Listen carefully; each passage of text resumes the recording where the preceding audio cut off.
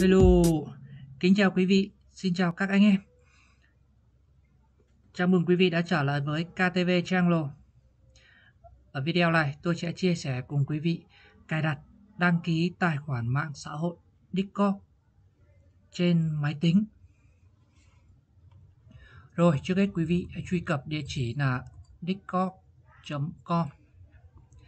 Thì ở đây quý vị nên sử dụng cái phiên bản download cho Windows. Đó, tại vì ở đây tôi đã download rồi, cho nên tôi sẽ đăng ký tài khoản trên cái trình duyệt browser.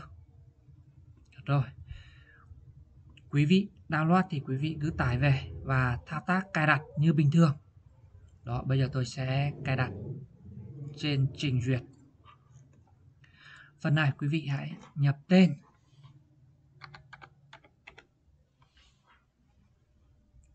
Click vào mũi tên. Click vào để xác nhận, tôi không phải là người máy. Rồi, quý vị hãy xác nhận theo cái hình như hướng dẫn ở đây.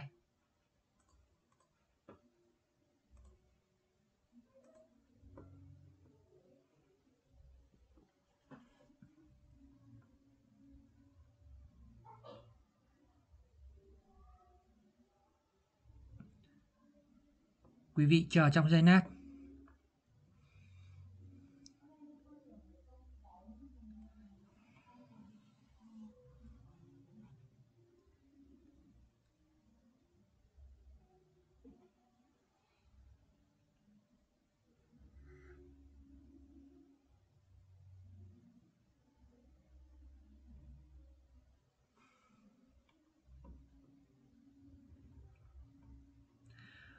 Rồi, ở phần này quý vị hãy xác nhận.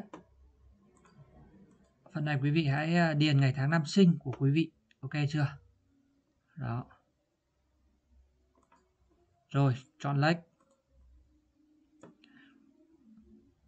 Cái này quý vị uh, tạo một server thì cái này chưa cần thiết. Quý vị có thể tắt nó đi. Đó. Rồi. Ô này là cái phần email. Thì quý vị hãy nhập email của quý vị vào đây.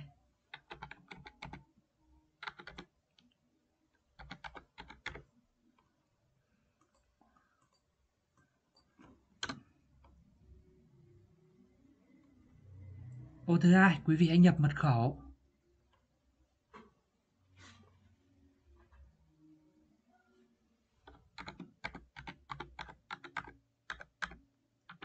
Rồi, nhập xong, quý vị hãy click vào claim account.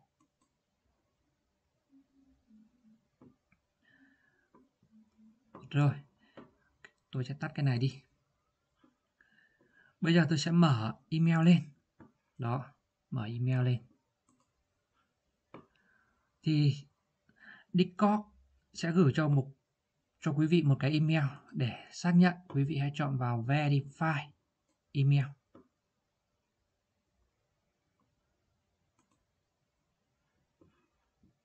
Ok. Vậy là đã xác nhận thành công. Bây giờ tôi sẽ trở lại.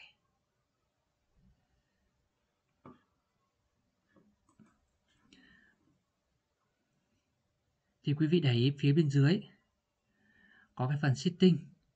Đó, setting. Trước hết quý vị có thể chuyển nó sang cái tiếng Việt.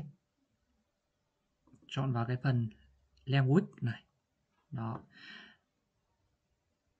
chọn tiếng Việt. Ok, bây giờ tôi sẽ tắt cái này đi. Rồi, thì đây là cái giao diện chính của cái mạng xã hội Discord. Quý vị muốn theo dõi hoặc tìm kiếm những cái sàn, những cái trang nào thì quý vị có thể tìm và truy cập hoặc là truy cập theo cái đường link mà họ thông báo. Rồi, thì trong cái phần cài đặt này, có một số điều quý vị cần lưu ý. Đó. thì ở đây, quý vị có thể thay đổi email khác. Đó. Quý vị chọn chỉnh sửa để thay đổi email. Và bên dưới, quý vị có thể cập nhật cái số điện thoại vào. Đó, bằng cách thêm số điện thoại. Ok chưa?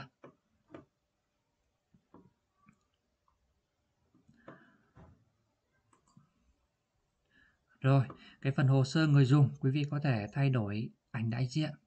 Đó. Về cái phần bảo mật nếu quý vị chơi crypto thì quý vị có thể chọn cái chế độ hãy đảm bảo an toàn cho tôi. Đó. Và bên dưới nó cũng có một số cái trình cài đặt. Đó. Cái này toàn là tiếng Việt thôi, quý vị có thể tự bật tắt nó lên. Đó. Rồi và đến đây thì tôi xin kết thúc video này. Cảm ơn quý vị đã quan tâm và theo dõi. Để cập nhật những video mới nhất, quý vị đừng quên comment, đăng ký và theo dõi kênh